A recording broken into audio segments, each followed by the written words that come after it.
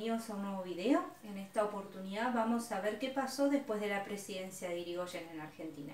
Para 1922 se da la segunda presidencia radical consecutiva en Argentina de la mano de Alvear. Alvear, conjunto con su vicepresidente González, sacaron el 48% de los votos en los comicios.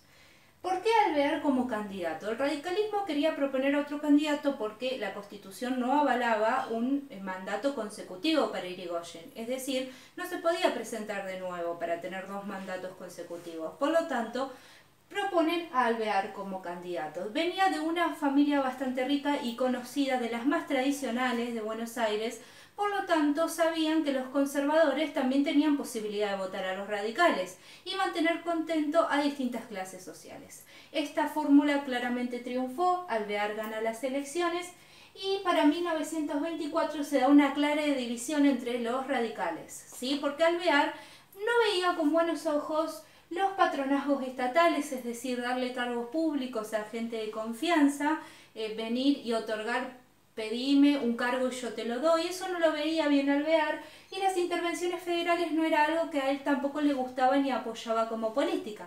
Estas cuestiones que Alvear critica de Irigoyen se empezaron a ver dentro del gobierno, entonces hubo un quiebre, una división entre los radicales, los radicales personalistas y los antipersonalistas. Los personalistas apoyaban la figura de Irigoyen ¿sí? y sus políticas, las intervenciones federales, el patronazgo, el clientelismo, y también el peso que tuvo la educación. Y los antipersonalistas creían que no era bueno que la figura de Irigoyen sea tan fuerte, este liderazgo eh, personalista que habíamos hablado anteriormente, y apoyan más las ideas de Alvear. Los principales, eh, figuras, las principales figuras de este movimiento antipersonalista van a ser Melo y Gallo. ¿Qué pasó durante la economía de este periodo de Alvear? justamente el modelo agroexportador que venía incentivando Irigoyen también lo vuelve a incentivar Alvear, o sea, lo sigue incentivando, pero se dan conflictos dentro de la actividad ganadera. Por un lado estaban los criadores y por otro los invernadores. El, el, precio de la carne vacuna variaba en función a si se criaba desde el campo o si se generaba en invernadero. Por lo tanto, empezó el conflicto entre salario y precio de carne vacuna para la exportación dentro de este marco de modelo agroexportador. Salario fue bastante contundente en este periodo y también eh, hubo un problema, el mismo problema que tuvo Irigoyen lo tuve Alvear. ¿Qué hacer con el gasto público tan elevado? Alvear encontró la solución en eh, aumentar las tarifas aduaneras, o sea, todo lo que ingresaba a la aduana, se le cobraba una tarifa mayoritaria para poder solventar este gasto público excesivo que había tenido el gobierno en este periodo.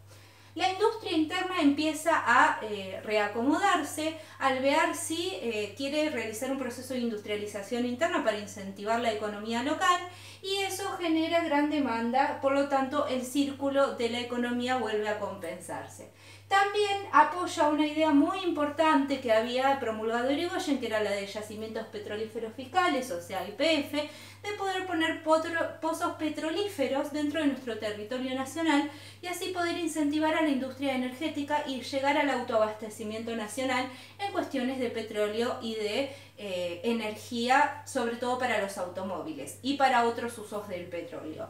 Eso lo siguió incentivando y vamos a ver que es la etapa más fuerte de lo que es IPF en la historia argentina. Bien, este es el periodo de presidencia de Alvear, después de Irigoyen. el video que viene vamos a ver cómo retoma Irigoyen, porque yo les había anticipado que tiene dos gobiernos. Él vuelve a asumir el cargo de presidente y vamos a ver qué sucede con eso más adelante. Les mando un saludo a todos, espero que se haya entendido.